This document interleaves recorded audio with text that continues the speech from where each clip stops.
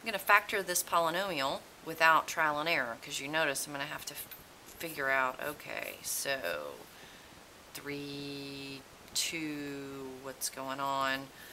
So I don't even want to bother with that. I'm going to go straight to the quadratic formula. We're going to say this is our original problem. I'm going to say this is equal to 0 so I can solve for x using the quadratic formula. And I'm going to do A, B, and C. So you can easily see this. And then I'm going to write the formula in colors. So this is the opposite of B plus or minus B squared minus 4 times A times C all over 2A. Marker's getting scrounged around here. This needs to go all the way across. That goes all the way across. This bar goes from the beginning of the minus to the end of the radical. So now I can put in my numbers. 20 is B, 6 is A, and oh, 6 is C.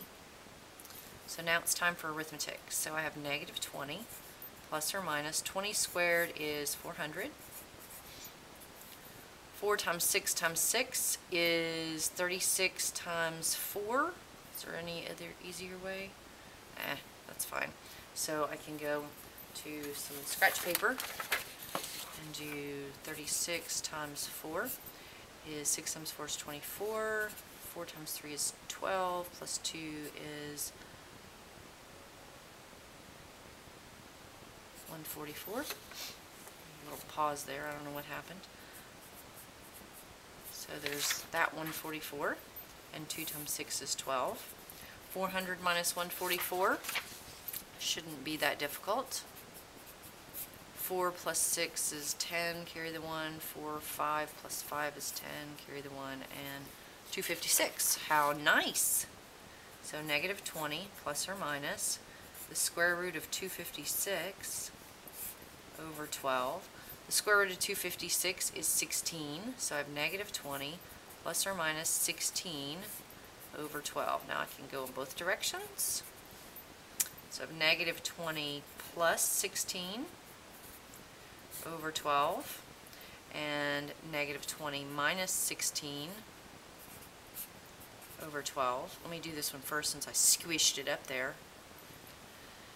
Negative 20 minus 16 over 12 is negative 36 over 12. Um, you can reduce this to 18 over 6, which is 3 over 1. So this is negative 3 over 1. Since I'm out of space, I'm going to do that. Negative 20 plus 16 over 12, this is negative 4 over 12. Reducing all the way is negative 1 third. So there they are squished in the corners. So negative 1 third and ooh, negative 3 over 1. That's interesting, isn't it? So these should go up here. So I have 3. This is the blue one change the sign, 3x, so this 3 is the front end. Change the sign so I have a plus and then the numerator's on top. 1x, so that's the 1. I change the sign, plus 3.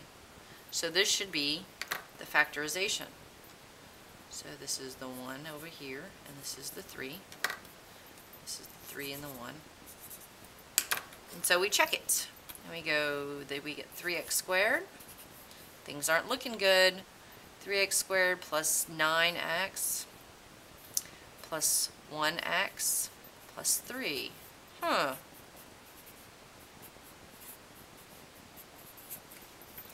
Doesn't look quite right. What's the difference between them? The difference is, is if I multiply this through by a 2,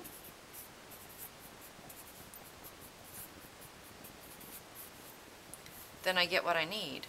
So I could have factored out a 2 to begin with, and things might have been much easier.